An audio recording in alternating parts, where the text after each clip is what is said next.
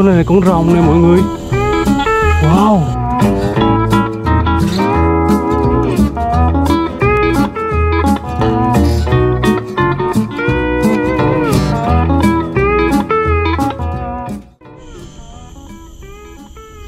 Ồ, dễ thương quá mọi người ơi. Con khỉ này nó dạng ghê luôn á. Xin chào tất cả mọi người. Hiện tại thì Huy đang có mặt tại Singapore Và Huy đang ở trong một khu rừng rất là đẹp luôn. Thì mình đang đi dạo ở trong khu rừng này á Thì có một cái gia đình khỉ à, Nó nhảy xuống. À, Rồi à, nó kéo cả gia đình đi ngang qua mình luôn. Mình mắc cười mình đứng lại Mình mở camera quay cho mọi người xem nè. Đây là một thành viên nha. Hello. Trời bốn con khỉ nhỏ luôn, nhỏ xíu mà mọi người. Thấy nó đôi trên cây này thấy không? Trên kia cũng có một con nữa nè. Đây là một gia đình nha mọi người. Khỉ đây nó, nó hiền lắm mọi người. Mà nó cũng không có ờ, gọi là sợ con người á. Nó gần gũi lắm. Ủa, té bây giờ. Hình như nó đang tập nhảy sao mọi người? Nhảy chưa chuyên nghiệp lắm. Xém nữa rớt thì à, đây là khu rừng à, Bukit Timah nha mọi người. Đây là một trong những khu rừng cũng khá là nổi tiếng ở Singapore. Thì thường à, người dân ở Singapore người ta thường hay đến đây để đi bộ này cũng như là thư giãn giữa trung tâm thành phố Singapore mà có một cái khu rừng như vậy là rất là tuyệt vời luôn mọi người. À, ngày hôm qua như mọi người đã biết á, thì à, mình có chia sẻ ở những video trước á, thì mình tới đây trời mưa rất là to luôn mưa cả ngày luôn mình không thể đi đâu được hết à, nhưng mà hôm nay á, thì trời à, khô ráo hơn cho nên mình quyết định đi đến cái khu rừng này. À, mình cảm thấy ở trong đây rất là đẹp mọi người và cái không khí nó cũng rất là dễ chịu nữa. Đây mọi người coi con khỉ nhỏ nè. Dễ thương ghê á. Mà hình như là ở trong đây khỉ người ta cấm là không được cho ăn mà cũng không có được đưa cho nó bất cứ một cái thứ gì luôn mọi người. Cho nên mình thấy khỉ trong đây nó chỉ có ăn lá thôi á. Nãy giờ nó bứt lá nó ăn nè nó gan ghê á dám tới gần mình luôn. Nó ăn lá này mọi người thấy không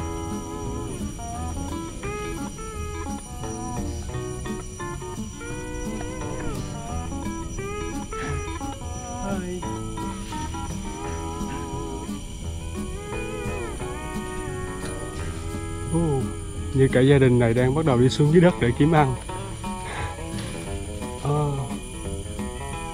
mấy con nhỏ này nó thấy anh hay chị của nó có cái cây này ăn ngon đó, mọi người nó chạy theo nè.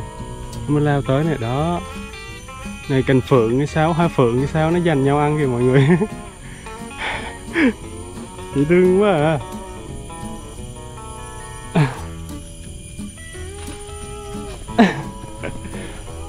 Selfie selfie. Selfie. Ok cả gia đình mình chụp hình với anh tắm nha trước khi em về Việt Nam nè. Hai ba trời nó gan ghê mọi người nó tới gần mình luôn nè. Bye bye. Thôi đi nha. Dạ. Ui da, trời ơi. Con khỉ này đứng sau lưng mình nè, mọi người ơi, làm hết hồn luôn. Trời ơi, làm mất hồn thì chứ. Wow, ở đây có một cái hồ đẹp chứ này mọi người. Wow, đẹp quá.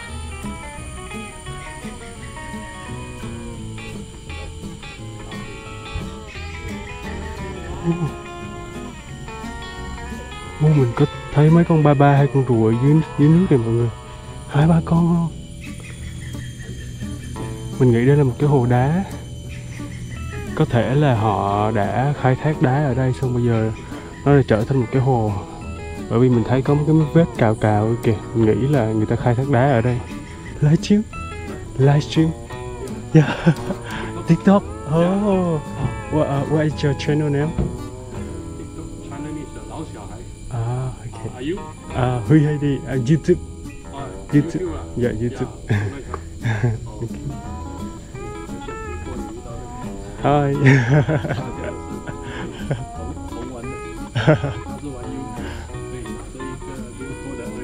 야, 야, GoPro, GoPro. Dạ. nice. Chúng này đang uh, livestream để bán đồ ở trên TikTok mọi người. dễ thương ha lựa chọn cái view rất là đẹp.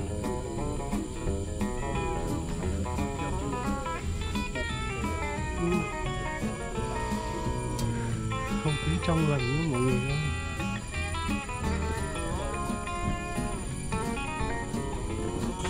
Nè không được cho khỉ ăn nè nếu mà cho khỉ ăn á, thì sẽ bị phạt à, 5.000 đô nha mọi người. Dễ sợ chưa? Ú con này là con rồng này mọi người wow. Ui trời ơi, lần đầu tiên mình nhìn thấy nó ở ngoài luôn á. Thấy đừng có đi nha, để chụp hình một cái nha. Đúng rồi, quay mặt qua đây. Bỏ chạy mất tiêu rồi. Mình nhớ ra rồi, đây là con rồng Komodo nổi tiếng ở Indonesia. Nhưng mà mình nghĩ ở trên cái bán đảo, ở trên cái ờ, thành phố Singapore này thì nó cũng sống. Mình không biết là họ thả nó vô đây hay là nó có tự nhiên nữa mà mình mới thấy một con nhỏ xíu à. Rồng Komodo. Thì đây là cái bản đồ của khu vực này nha mọi người. Hồi nãy thì mình ở cái hồ này nè. Uh, Hydro Nature Park này để cho mọi người xem này. Còn rất là nhiều khu khác nữa mà mình chưa đi. Ở trong cái khu vực này á mọi người thì người ta có xây dựng một cái cầu á Ecolink. Thì cái này á nó sẽ kết nối hai cái vùng uh, rừng lại với nhau này hai cái khu rừng lại với nhau thì bình thường động vật nó sẽ phải ờ, đi vòng hoặc là nếu như mà nó có thể bơi được thì nó bơi qua. Nhưng mà khi mà người ta kết nối hai cái ờ, khu rừng này lại với nhau bằng cái cầu này á, thì những con động vật đó nó có thể di chuyển từ bên rừng này qua bên rừng bên này nè, mọi người nó kết nối với nhau á, nó tạo nên một cái hệ sinh thái đa dạng hơn. Hay ha hiện tại thì Huy đang có mặt tại khu vực uh, Bukit Timah thì uh, Huy vừa mới đi ra khỏi cái công viên hồi nãy thì đến cái khu vực này có rất là nhiều hàng quán ăn. Thì mình thấy có một cái uh, quán cháo ếch mọi người. Chắc là mình sẽ vô cái quán này để ăn thử. Hello. À yeah one person you wait yeah uh, can I sit here? Oh, yes. yeah thank you One, no? yeah one.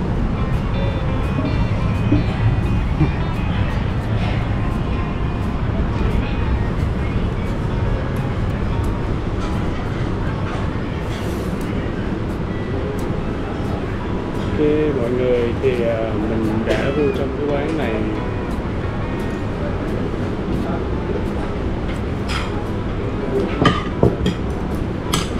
Straight away order or you have a look can uh, what's your recommend? Mm, only one person is this one, uh, this portion. Okay? Uh, yeah. So you want spicy or not spicy? Spicy is the dry chili one, not spicy is the ginger spring onion. Uh, not spicy.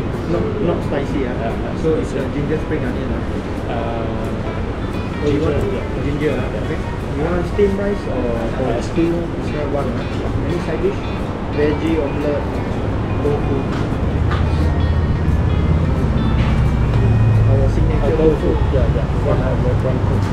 Thì, thì Huy vừa mới order một phần cháo ếch nha. Đây cho mọi người xem. Rồi người ta bỏ trong cái à, cái tô rất là bự Cũng là phần cháo của mình.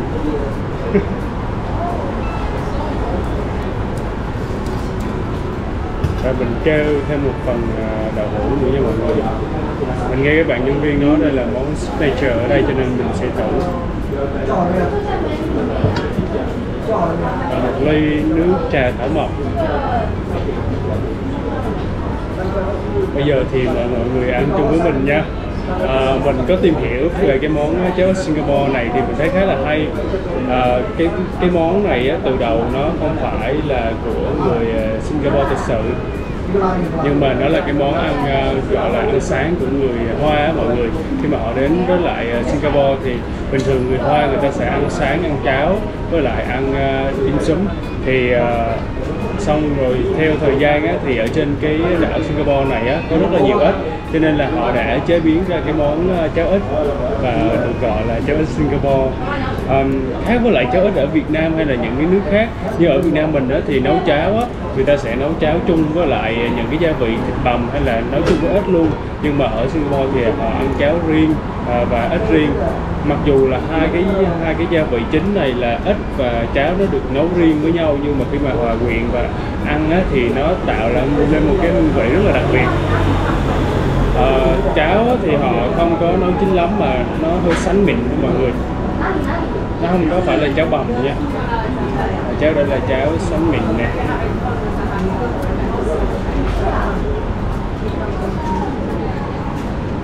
và ít thì được nấu chung với gia vị. Nhìn thấy là thôi, thấy đậm đà rồi mọi người ha. Thôi bây giờ mình sẽ ăn nha.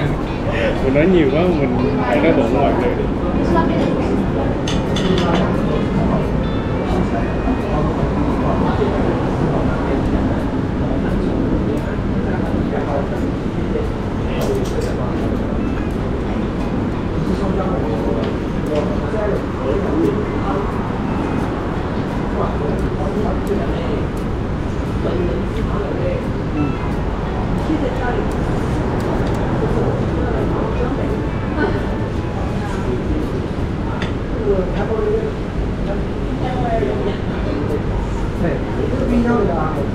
冰，cháo rất là sánh mịn nha mọi người.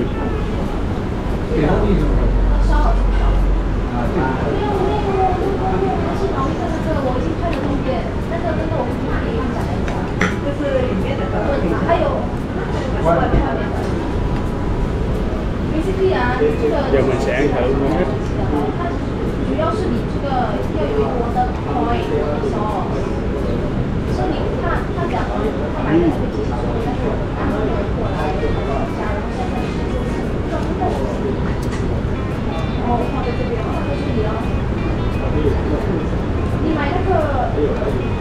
ớt khá là mềm nha mọi người. Hồi nãy mình chơi cái phần này là nó không có cay có nghĩa là người ta sẽ bỏ gừng còn nếu như mà mình cho phần cây thì họ sẽ bỏ ớt vô.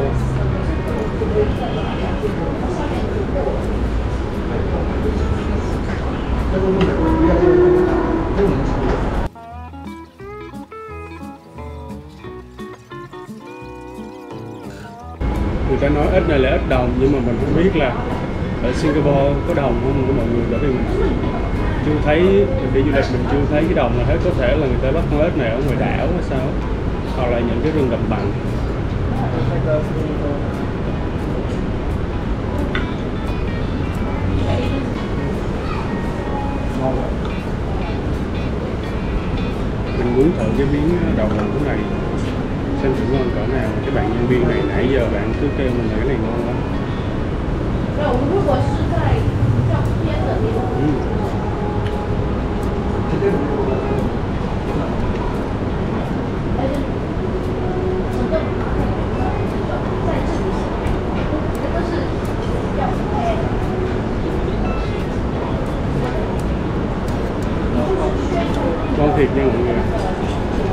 飞机过 gì mà?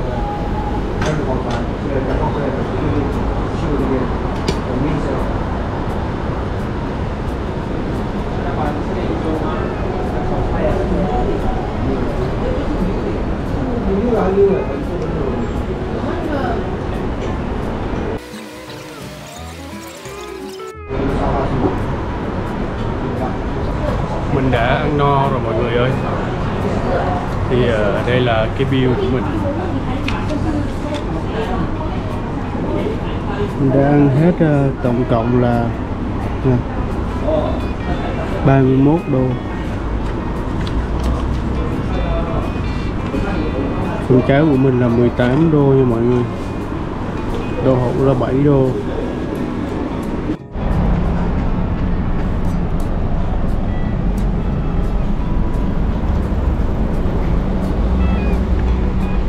Với mọi người. À, Mình vừa mới đi xe buýt từ à, trung tâm của Singapore đi về à, phía phía Bắc. Ủa, phía Bắc hay phía Nam? Mình mình cũng không nhớ nữa. Mình đang đi đến một cái à, suối nước nóng tự nhiên rất là đẹp ở đây. Thì ờ, đây là cái khu vực suối nước nóng nha mọi người. Mình đang đi thẳng vô trong đó. À, Đây là cái bản đồ của nó nè. Thì hiện tại mình đang ở đây. Ok, giờ mình sẽ đi thẳng vô bên trong đây nha vô trong cái suối nước nóng này. Vừa mới bước chân vô là mình thấy có rất là nhiều hoa rồi nha mọi người, khu này đẹp thiệt á. Vài người đang đi ra thì thấy ai cũng mang dép hết mọi người. Biết mình mang giày vô đây có sai quy định hay không nữa. Hai bên đường đi vô suối nước nóng này thì người ta trồng rất là nhiều hoa nha. Đẹp quá mọi người ơi.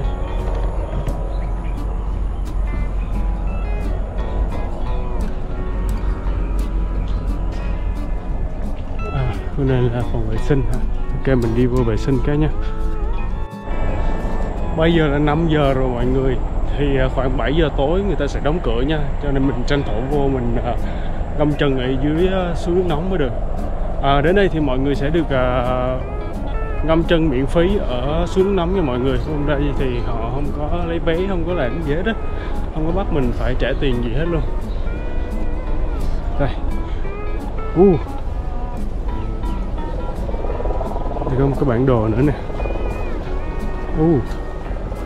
mình cảm nhận được cái hơi nóng từ ở chỗ này luôn nha mọi người. Ừ, có rất là nhiều người đang à, ngồi ngâm chân kìa. Đã quá ta. Uh. nhiều người họ sẽ mang cái xô tới xong rồi để ngâm ở ngoài đây nè mọi người.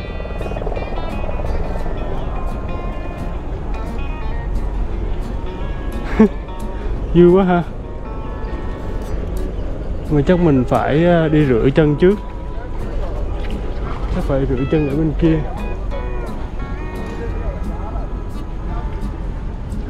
Mình nghe nói đây là cái suối nước nóng tự nhiên nha mọi người.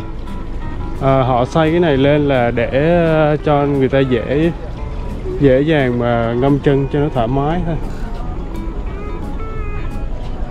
Đây hướng dẫn nè. Đầu tiên là mình sẽ phải rửa chân trước chỉ được ngâm chân thôi không được tắm ở dưới đó nha mọi người. Ở trên cùng đây là nhiệt độ cao nhất nè. Đây là 40 độ C, 45 độ C, 50 độ C, 60 độ C, 70 độ C. Ở trên đây là nóng nhất nha mọi người. Có mấy cục đá người ta ngâm nè.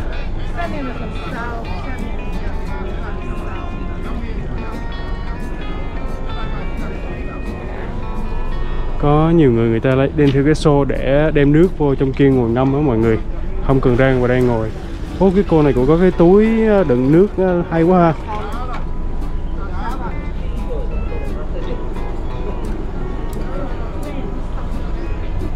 Mình nghĩ là mình ờ, sẽ phải thử cái 40 độ C trước ha.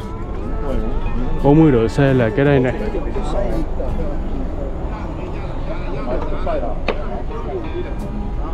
Đây là 40 độ C.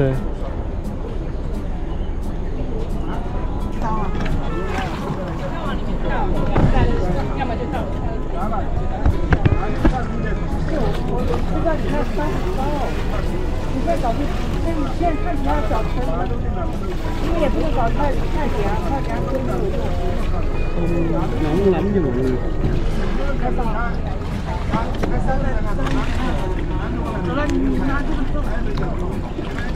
40 độ C. Đã quá.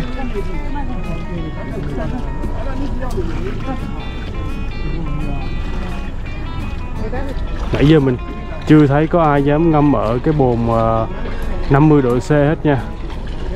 Này 40 độ C, mình nghĩ là vừa phải và hợp với lại chân của nhiều người. Mà có chú kia, chú đang múc nước từ cái ờ, cái bồn chứa khoảng ờ, 45 độ C. Chú múc đi ra ngoài để cho nó nóng hơn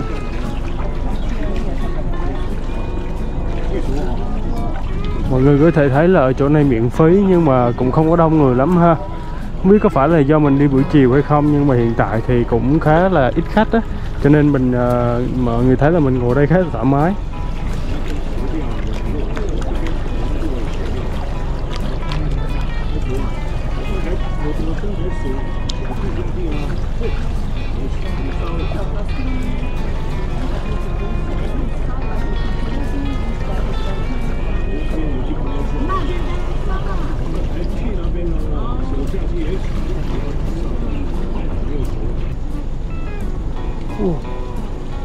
Ở đây thì ở chỗ đây có cái chỗ ờ, luộc trứng nữa nha mọi người.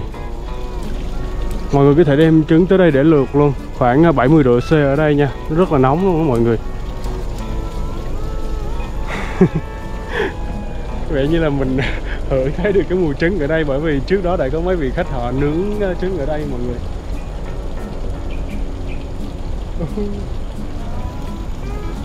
thơm quá. Còn cái này là cái gì đây? À cái chỗ để chạy nước thải ra.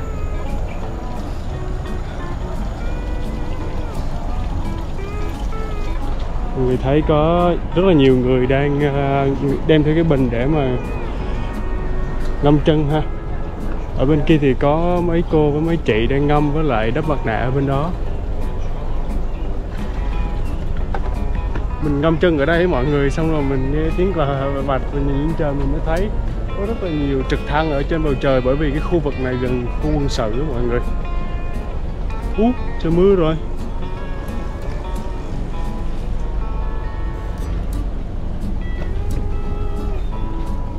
Đây là cái lịch sử của khu này nha mọi người.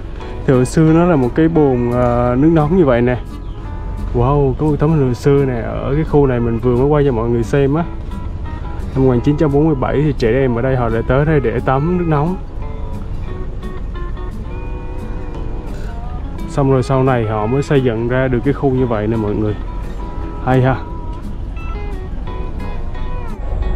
Những ngày mà ở Singapore đó mọi người khi mà mình đi đến tham quan từng cái điểm du lịch đó thì mình rất là thích một cái điểm này của người du Singapore khi mà họ làm du lịch đó là à, ở bất kỳ một địa điểm nào đó họ đều ghi lại cái lịch sử của khu vực đó và họ cho khách du lịch nhìn thấy được là cái quá trình hình thành nên cái khu vực đó như thế nào.